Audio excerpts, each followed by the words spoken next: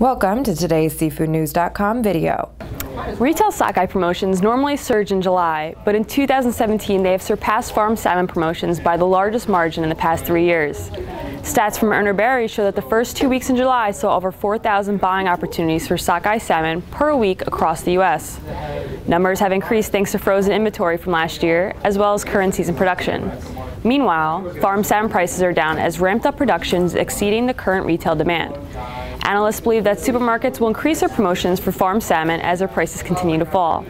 For the complete story, subscribers can log into seafoodnews.com.